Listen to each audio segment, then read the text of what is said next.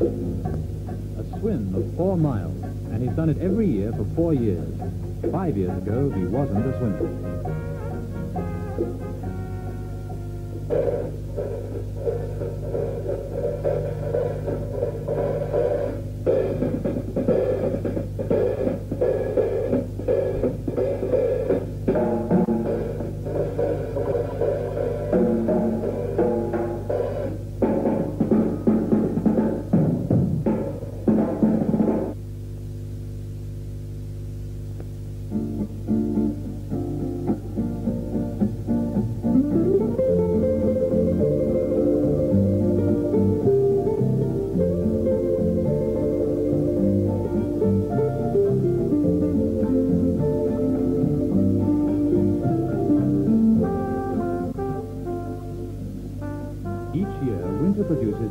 Penguins, polar bears, the winter swimmers who to most of us seem a little crazy.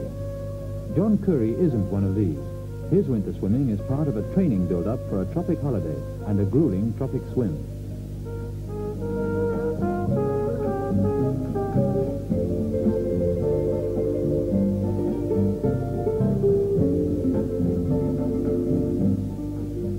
Trainer Tom Coddy is always on hand to check the workout calculate just how John Koorey can improve his performance.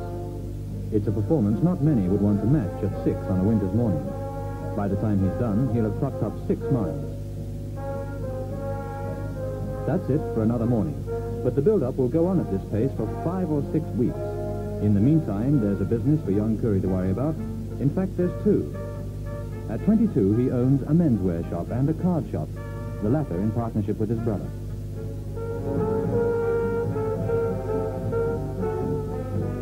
The menswear shop, in one of Sydney's thriving arcades, is not John's regular workplace. This he usually leaves to his father. However, the boss must make his occasional visit, and when he does, it isn't just a chat.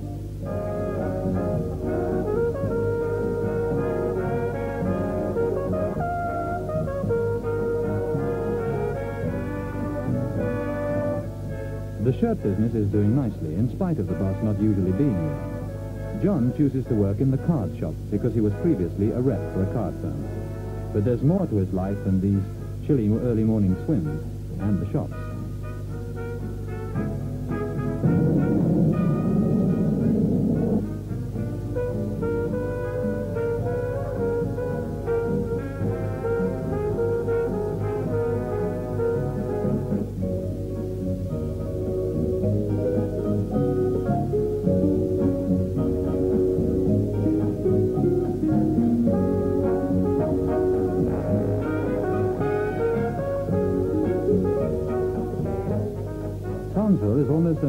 John Koorey. Each year in the winter, he makes a pilgrimage north, not just for holiday, but to compete in what is probably Australia's most grueling swim. He's not alone. Some of Australia's top surf and distance swimmers come north to compete. The Townsville pool is the scene for all their last-minute training, a welcome change from home pools and beaches in the grip of winter further south.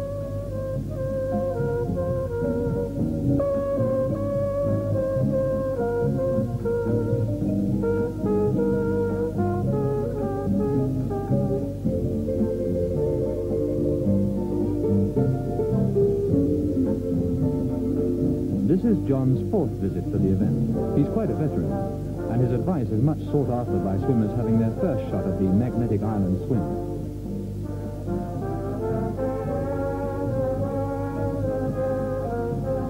How far do you think it really is? That's really five and a half miles? Uh, yes, Tom. Uh, as you'll see where we start from over there near the, the sand. Uh, that's Picnic Bay right there? That's right. If it comes up rough tomorrow, well, we could swim six and a half. Uh, the rougher it is, the further we've got to go out to sea. Uh, if it's real rougher, we'll aim for about number four or number five pylon, but if it's flat as, as it is now, well, we'll aim for about three, two and a half. How do you find the water, John? I've, I've felt it this morning. It seems pretty warm. Do you seem to get lethargic, or does the salt bother you much? Well, as you realise, Tom, the water we have been training in in Sydney is, it is a lot warmer here uh, maybe 15 to 20 degrees warmer you'll find over the mud flats. Uh, it does tend to fatigue. Uh, this is something we hope to overcome uh, well, as I was telling you before, you've got to overthink it. Mm-hmm. Uh, you will find also a lot of creatures in the water that uh, do stingers and uh, jelly blubbers. You'll get them in the cage, but uh, they don't give you that much uh, much trouble. How about the saltiness of the water? Are we going to have to use our goggles all the way across? Or? Well, you, you do find the saltier water in the shallower water, uh, over the mud flats. But right out in the middle, she's pretty good, and uh, once you get into the harbour, that's where it starts to get bad.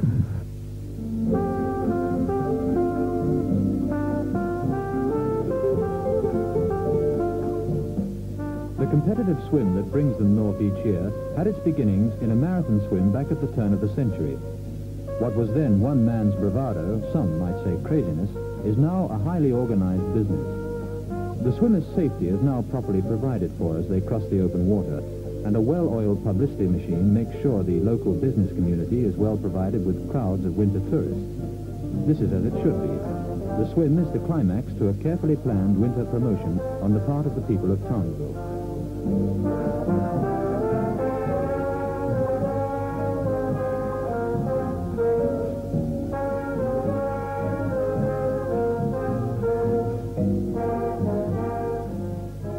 The swim takes the competitors across the four miles of open water between Magnetic Island and Townsville on the mainland.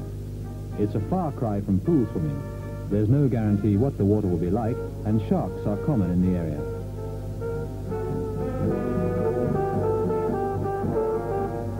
The swim, as a contest, began in 1954 with the visit of the Queen. For the first couple of years, it was purely a North Queensland affair. Then it began to attract entries from interstate, and now it can boast a competition list studded with Olympians and surf champions.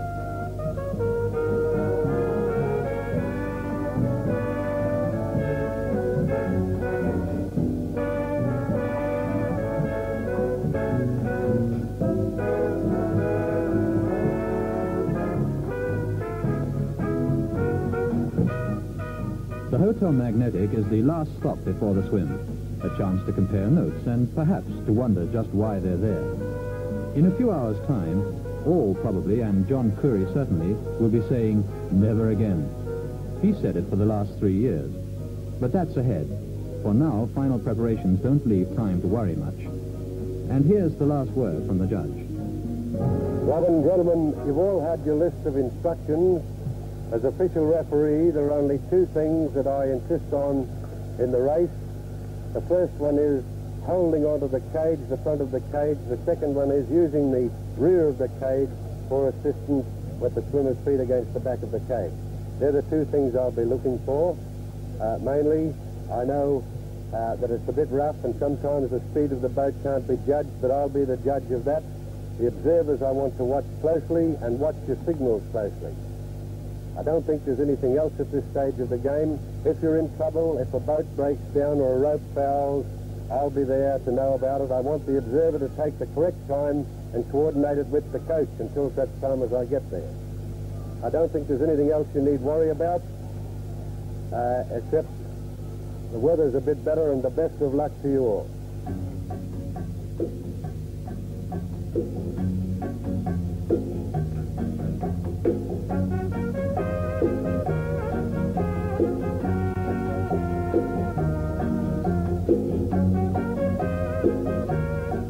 The cage is, of course, compulsory as shark protection.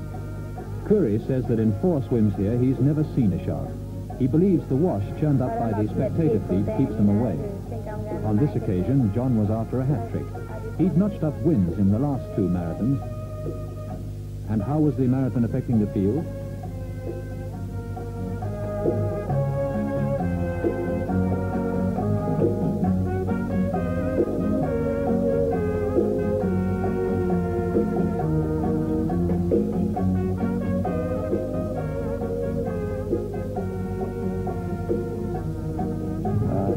Sometimes I just count strokes or do mental problems in my mind.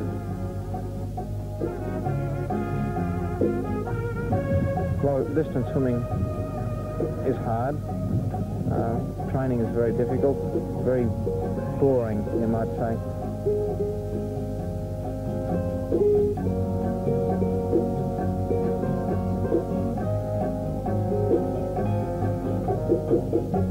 It's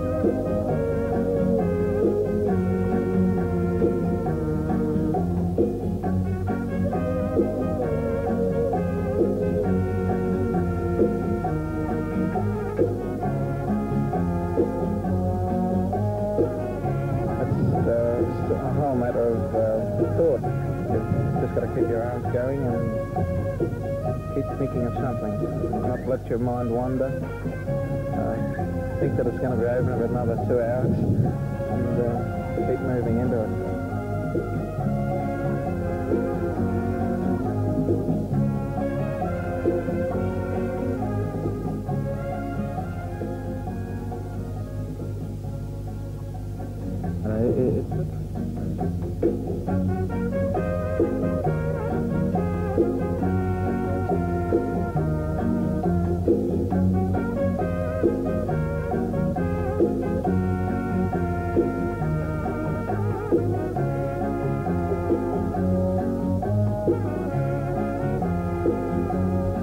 The finishing line.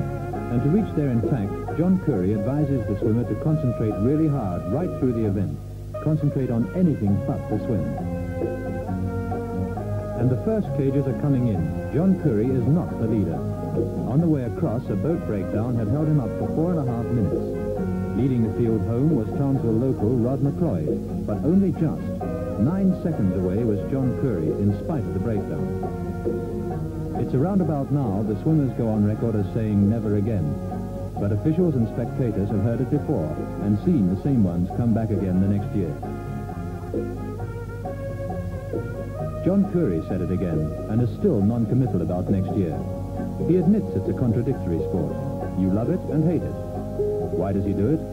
Mostly, he says, for the break up north, plus a distance swim.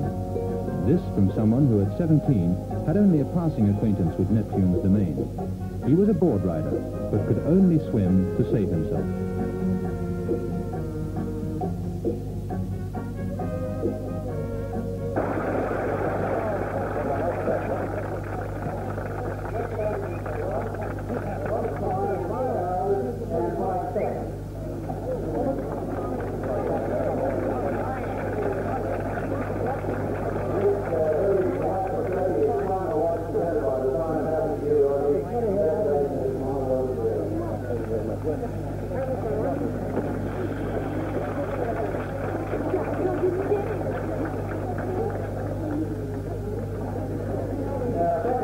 Just about